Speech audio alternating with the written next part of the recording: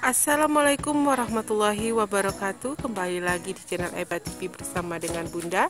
Di video kali ini Bunda akan berbagi tips bagaimana cara mengatasi atau mengobati keputihan pada lidah bayi.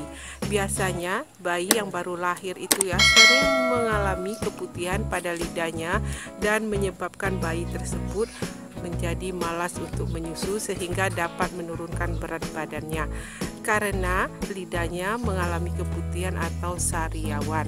Nah, untuk mengatasi masalah tersebut, kita bisa memanfaatkan salah satunya adalah tumbuhan herbal seperti yang ada di depan Bunda ini ya. Ini adalah daun jarak pagar.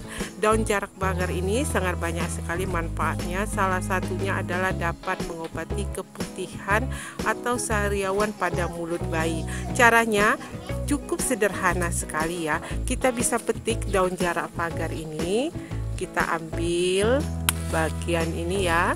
Nah, biasanya akan mengeluarkan getah ya jika kita petik atau kita potelkan tangkainya ini. Nah, tangkai atau yang getah yang timbul di tangkai ini bisa kita oleskan langsung di lidah bayi yang mengalami keputihan atau sariawan. Kita oleskan seperti ini ya pada lidah bayi yang mengalami keputihan. Dengan cara ini, maka keputihan yang ada di lidah bayi tersebut akan rontok dan keluar bersama dengan air liurnya.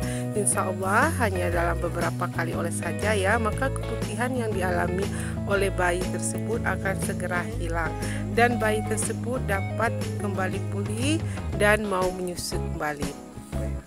Nah sampai di sinilah video hari ini dari Bunda Bagaimana cara mengatasi atau mengobati keputihan atau sariawan pada mulut bayi Agar dapat segera kembali sembuh.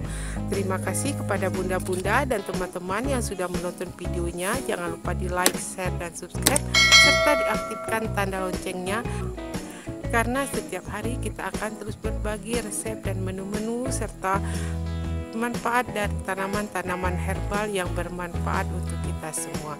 Sekali lagi terima kasih, sampai jumpa kembali.